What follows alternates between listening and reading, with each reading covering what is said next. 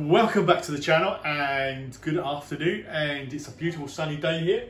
We have 34 degrees at the moment as I believe in the United hot. Kingdom and it is a hot Saturday afternoon.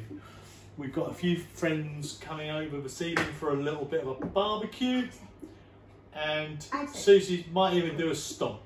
Like, well, Race like, us with a stomp later. yes, Now, I promised some uh, friends who asked on the radio this week about monkfish. that is monkfish. That is what monkfish looks I'm like. just gonna hold that thought for a second. Oh, you? Why, who are you going to... Uh, come in, Blaze, it's wrong. Right, thank you. So to get him up. Okay. Okay. Um, but what monkfish is? This is monkfish, or ugly fish, as some people call it. It's got, it's a, with its head on it, it's quite an ugly looking fish. So, sorry. There you go. I Well, thought it is, uh, ooh, that's scary. Don't do that. Right, um, this is monkfish, or the French call it lotte.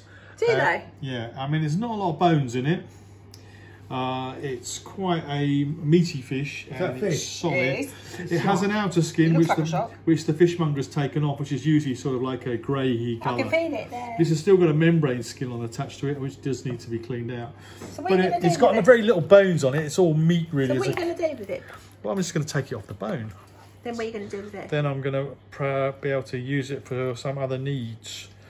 Because it's quite a meaty fish, as you said. It's, it's a, very similar to prawn and lobster as far as texture. Yeah, because you don't cook. That's quite expensive, though, monkfish, though, isn't it? Yeah, monkfish is not cheap. Then again, Any fish isn't cheap. you No, cod isn't cheap. Yeah, it's expensive. Um, it. it does tend to uh, be very pricey, but then again, you get a lot of Yeah, wastage but then, with it. yeah, but then fish is ex- nice though, isn't it? Mm-hmm. All food is expensive. And this came from our good friends at Costco, who uh, are, I do say they do seem to get good quality produce. And like we had the ribs there, and they were reasonable. I think we paid um, nineteen dollars for four baby back ribs. I went to a grocery store today and we spent eight. I spent eighty-eight pounds.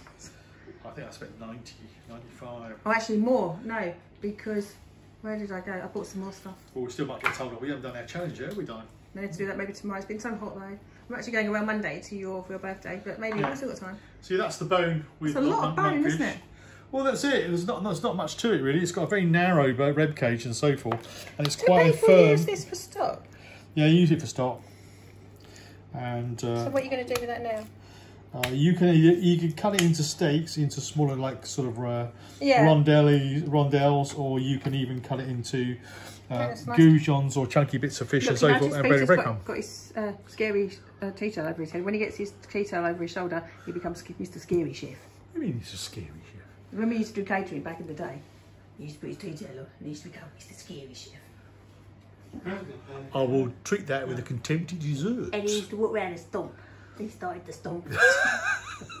Fair enough. so what you, we're going to freeze this for now, aren't we? We're going to freeze this because I'm going to do something with it next week with uh, lobster and monkfish for our friends Steiny and the guys on at Formula One. I think we're going to do some paella or something fishy. Yeah. This is a very good fish for for um, kebabs because it doesn't yeah, fall apart.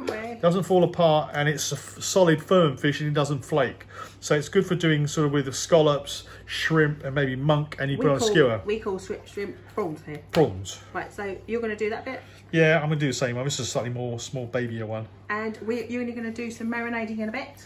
i'm gonna do some marinating bits before i get some production done for some bar- barbecue for tonight on the pit and i'm gonna do some salady prep All right then, so we'll see you later. we'll see you later ciao for now Bye.